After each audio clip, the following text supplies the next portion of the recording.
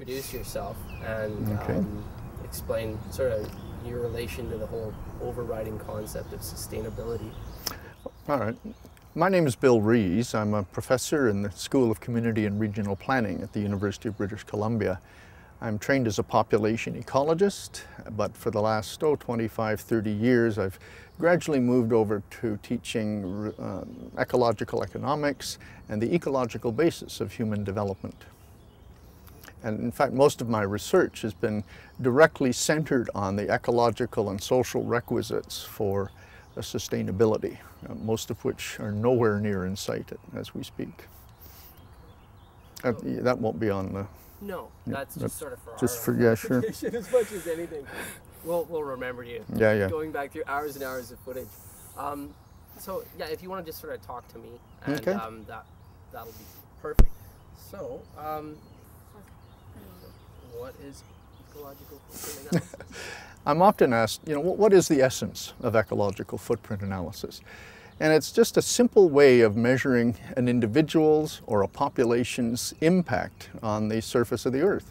In fact, it's measured directly in terms of the area of productive ecosystems required to produce all the resources that you or a population of a whole country uh, require, and uh, the ecosystems needed to assimilate those wastes. So we have to recognize that humans are part of ecosystems. In fact, we're the major consumer organism in every single ecosystem type on the planet. So the question arises, well, how much of the Earth's surface is dedicated to servicing the human species, both by producing resources and assimilating wastes? Um, one of the interesting things about eco-footprinting, and in fact I, I divine, d- devised it this way, is that it makes a direct connection between people's consumption. Everything you consume is produced by the earth in some way or another. So we connect con- consumption to sustainability using land as a general surrogate. So everyone understands consumption, everyone understands land, and they immediately get it. So my footprint is the amount of land needed to sa- sustain just me in the style to which I'm accustomed. Okay. Um, how, as a species, or as so-called developed nations, living outside of the planet's means, or how must our lifestyles change? Well, to put it very bluntly, even if we just take a global average, which means uh, you know 4 billion poor people as well as roughly 2 billion relatively well-off people, the average ecological footprint is over two hectares per person now in terms of global average productivity. But if you add up all of the productive land and waterscape on Earth, uh, there's only about 1.8 hectares per capita. So even on a global scale, we're about 25 or 30 percent in excess of the capacity of the planet to cont- uh, continue to produce for us. So even school kids ask right away, well, how can we be living on two and a half or 2.2 hectares if there's only 1.8? And the answer is that we're, we're drawing down enormous stocks of resources that have built up over time. So we're over harvesting our forests, we're over harvesting fish stocks, soils are becoming uh, eroded. And so we're living as if the planet were about a third larger than it really is. And as a result, we, we can keep this going for a little while, but we're shrinking the earth under our very feet. And at some point, we're going to hit an, an upper limit.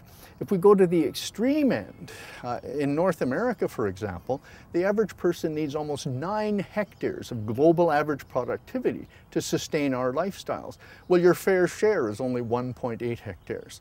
So it's just impossible to imagine everybody living at North American standards on the kind of uh, technological base that we have today. We'd need four additional planet Earths, and that's up from probably two just 20 years or so ago. Thing that I'd, I'd noticed in your work, um, and this is a little wordy, but um, if you could, if you could describe the apparent divorce from natural surroundings and/or biological systems that drives much of our behavior, or how is conceiving of ourselves as somehow separate from nature flawed? Oh, well, uh, the only place, okay, let me start over because Absolutely. the question is how is it that human beings have begun to see themselves as so separate from nature? And this is a question that has very, very deep roots in Western philosophy. Um, it was solidified as a kind of philosophical concept by Rene Descartes way back in the uh, Renaissance. Um, the, the, scientific revolution, Descartes was one of the founders of the scientific revolution. But a way of thinking about humans in relation to nature was developed from his idea that we could divide reality into the realm of the mind, which became the human domain, and the realm of matter, which was everything else, the external environment. And this became the basis for human beings in our culture, Western culture, uh, segregating themselves or isolating themselves from the environment and objectifying nature. And we pick this up as a, a, scientific methodology and as a philosophical basis for separating our disciplines from nature, at least the way we think in our disciplines from nature. So in economics, for example, a kind of an absurdity has evolved in which while economics deals with humans and their use of material, we think of the environment as a separate entity from nature so that impacts of humans over here on the environment out there become externalities. They're outside of the system that really counts. And we see this over and over again in every one of our disciplines. Even ecology took many, many years to recognize that humankind was part of nature. So when I was a graduate student, there were no courses in biological human ecology. I was told, oh, if you want to study people, you go to anthropology or sociology or economics. We don't deal with it as ecologists. So ecologists study the relationships between non-human organisms and the environment, leaving humans out of the picture. So wherever we look in our universities, we see this built-in philosophical positioning of our culture that keeps humans separate from nature. And it's reinforced by our religious uh, beliefs in, in Christianity, Judaism, and so on and so forth, so that it's an endemic problem in our culture. But uh, the point I would really like to make is that the only place in which humans are separate from nature is in the human mind. The deep and dark reality is that we are an integral component of our ecosystems and we are destroying the very basis of our own existence by being ignorant of our dependence on nature. Long answer. No, that's great. Um, um, I don't have strawberry juice running down my chin or anything. No, no. you're good. Um, so while Europe isn't an especially balanced or ideal model to aspire to, as a lot of people kind of hold it up as the holy grail of sustainable sustainability in the Western world, um, where should we be looking for inspiration? Well, many people ask, is Europe really that much further ahead than we are? Is it a, a place to look for inspiration? And in some ways it is. We're uh, debating in Canada carbon taxes. Well, there are half a dozen countries in Europe that have had these as a matter of routine for some years now and in many other respects in terms of taxing pollution and other bads and, and releasing uh, people's tax burden in terms of goods such as income, they're way ahead of us and we just have to acknowledge that.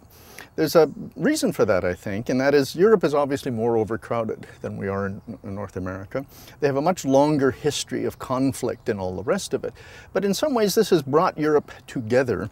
Uh, Northern Europe, for example, in particular, has always been more community-oriented, socialist, if you will, than we are. So in many respects, Europeans recognize that this is, sustainability is the single most important collective problem that we have. And there is no way that individual actions can address this problem adequately. If I do everything I can as an individual, which is what we prefer to do in North America to be sustainable, I can't get there. If I live in a city where there's no good transit, I can't create the good transit. If we really need carbon taxes or resource depletion taxes to induce conservation, as an individual, I cannot implement those things. So what Europeans have ahead of us is a capacity to recognize that these are collective problems requiring collective solutions, meaning government intervention in the economy. Because unsustainability is the greatest example of what economists would call market failure we've ever seen. And when you see uh, major examples of market failure, it's perfectly legitimate for governments to intervene to correct the market so that pay, uh, prices tell the truth, for example, which is the purpose of, of some forms of taxation. On the other hand, Europe is already is planning to uh, implement or build uh, 20 or 30 new large uh, coal-fired plants. So despite the uh, rhetoric around reduction of carbon emissions and so on and so forth. They're just as addicted as we are at base to, to many um, of the technologies that are, that are causing the, the real problems. The, the frank reality is I don't see any so-called advanced or high-income country on earth that we can look to uh, for guidance here. This is a new experiment for all of us.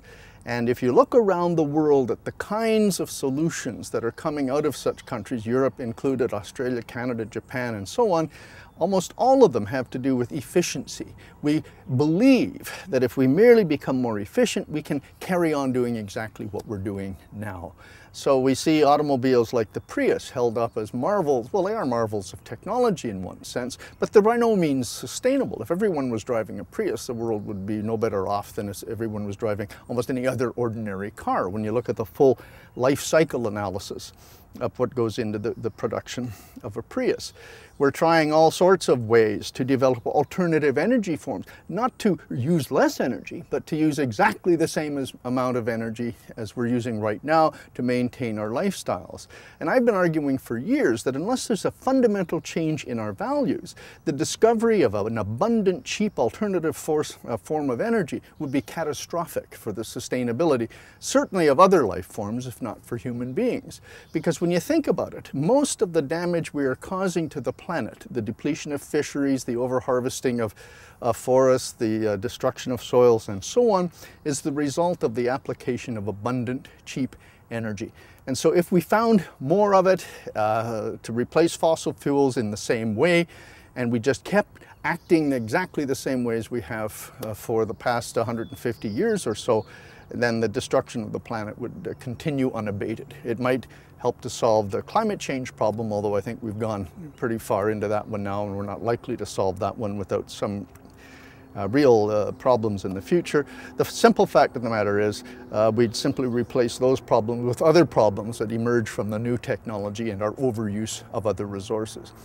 So frankly, there's no source of real inspiration in my view on the planet today. And what is going to be required if we're going to make real progress here is a serious re-evaluation of the fundamental beliefs, values, and assumptions of Western technological society that growth is forever and that we will benefit from an ever-growing material standard. Even that's a myth, because in the best, uh, in the richest countries today, it's very difficult to show a positive correlation between increasing incomes and consumption and people's perceived or objective well-being. What a stupid species when you think about it. Because here we are, dedicated to the proposition of endless material growth, while it is destroying the ecological basis of our existence, while providing no evidence for most people that there's any, anything to be gained from maintaining this path. It doesn't make much sense. And I keep repeating to myself, where's the evidence of intelligent life on Earth that we would ignore our own scientific evidence that we're destroying the Earth and that there's no gains to be made from further economic growth. We've long since passed the point where people's well-being is really increased by more income. And instead we're creating a planet that's lopsided with more and more people getting richer and richer, but an equivalent number falling off the wagon altogether and, and uh, you know, dying of starvation Lifeboat and suffering. That's right. It's, it, uh, that's where we're headed. I think we're headed toward lifeboat ethics. Yeah. All right. Um,